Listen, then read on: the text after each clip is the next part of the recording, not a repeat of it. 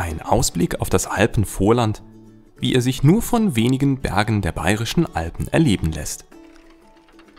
Das 2224 Meter hohe Nebelhorn hoch über Oberstdorf ist nicht zuletzt aufgrund der Seilbahn, die bis auf den Gipfel führt, einer der bekanntesten und beliebtesten Aussichtspunkte im Allgäu.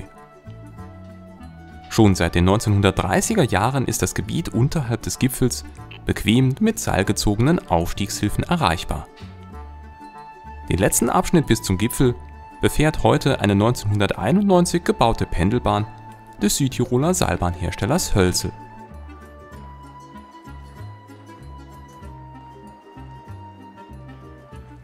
Ohne eine einzige Zwischenstütze befahren die beiden Kabinen mit je 30 Personen Fassungsvermögen die knapp einen Kilometer lange Strecke. Die Anlage ist die dritte und letzte Sektion einer Seilbahnkette, die insgesamt 1386 Höhenmeter überwindet. Noch bis ins Jahr 2020 sind auch auf den beiden unteren Teilabschnitten Pendelbahnen von Hölzel in Betrieb. Heute übernimmt dagegen eine technisch wie historisch spannende und bedeutsame Zweiseilumlaufbahn des Herstellers Leitner den Transport der Fahrgäste in diesem Bereich. Die Pendelbahn unterscheidet sich damit heute nicht nur in technischer Hinsicht von den beiden anderen Sektionen, sondern fällt mit einer Höhendifferenz von 281 Metern auch bedeutend weniger spektakulär aus. Der Grund dafür liegt nicht zuletzt in der Geschichte der Erschließung des Nebelhorns. Denn die beiden unteren langen Teilabschnitte befördern in ihrer Ursprungsform bereits im Jahr 1930 die ersten Fahrgäste. Lange Jahre ist die Station Höfertsblick in einem Kessel unterhalb des Nebelhorngipfels die Endstation.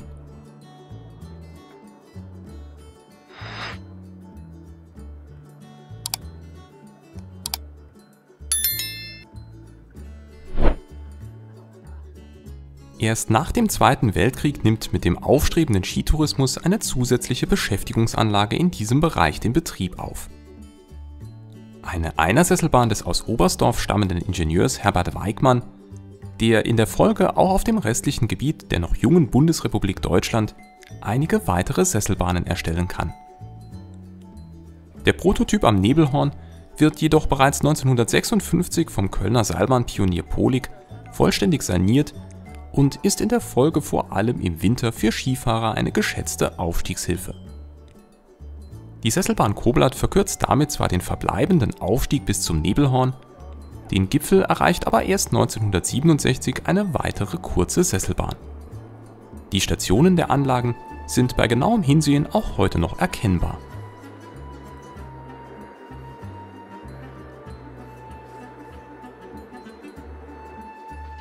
Wirklich optimal ist die Lösung insbesondere für den Sommertourismus jedoch nicht.